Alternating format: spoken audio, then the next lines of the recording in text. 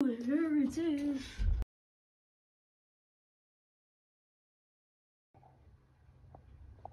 I don't know how to get homebrew things onto a Nintendo Wii, so that's why I'm upgrading to a Nintendo Switch.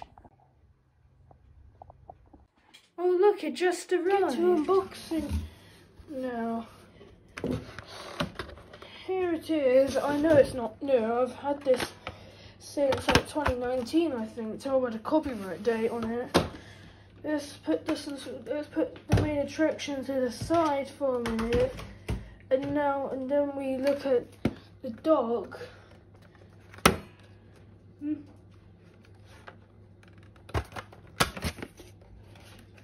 Ooh, perfect. So you could put your um, like I do not know what they're called extension cord thingies. So if you want to put more RAM, or if you, oh, it's called a capture card. Yeah. If you want to capture things with it longer, you could do that with it. Let's put that there.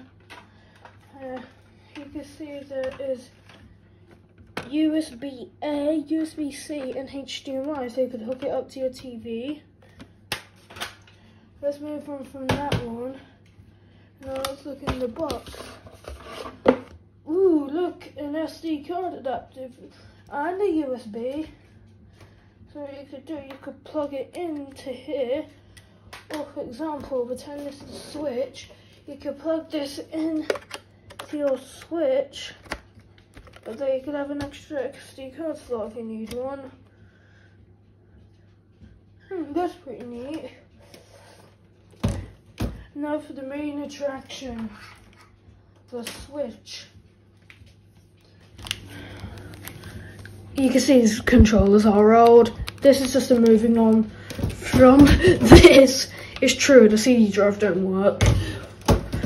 And they are, if on the Ultra Game Night, what will be coming out today, you will be watching a bit of me playing it. Now let's pause the video so we can do and set up